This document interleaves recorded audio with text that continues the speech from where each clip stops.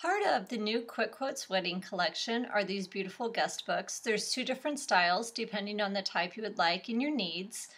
This first book is a spiral bound album. It has a nice quote on the front, and when you open it up, you'll see it has room for 150 guests to share their names and their thoughts, and there are 15 pages of poems and quotes throughout the book. The other album is this trifold album. It's beautiful with the striped cover. This can sit up on a tabletop and easily tuck away as a keepsake after the wedding.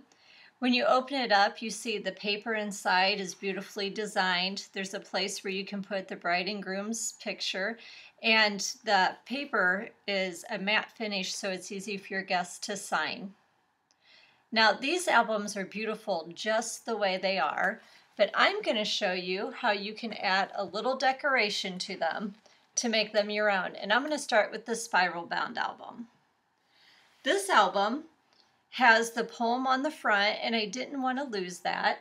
So what I did is I created the stacked embellishment and when you can see from the side I've got layers of pop dots in between there to give it some dimension. And all I did was take the quote, layer it with some cardstock, used a punch to create a border, pop dotted between layers to get dimension. And that quote is going to stick right on top of where the other quote was. Just like that. I also added this heart embellishment onto it to add a little extra pizzazz.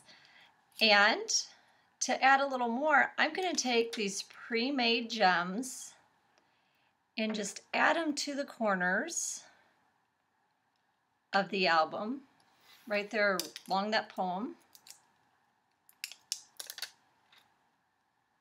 And I'm going to do the same thing with the bottom corner. I don't want to get it over the name of the guest book.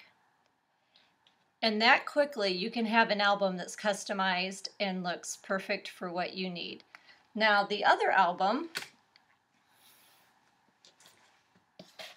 this trifold album, we're going to do a little differently. I want to open it up, make sure that the photo's the right way, so I put my embellishments in the right place. But I found this fabulous embellishment. It's a sticker. It's already made, ready for me to use. All I have to do is peel it off. And I'm going to take it and stick it on down here in the bottom corner of the album.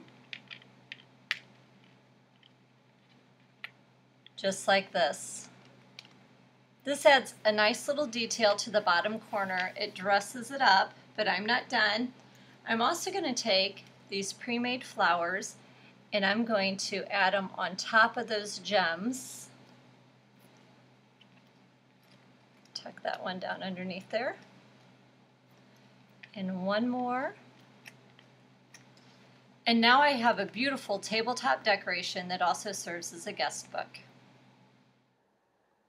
Altering the cover of these guest books for quick and easy and anyone can do it. This Wedding collection is available in stores mid-March 2013.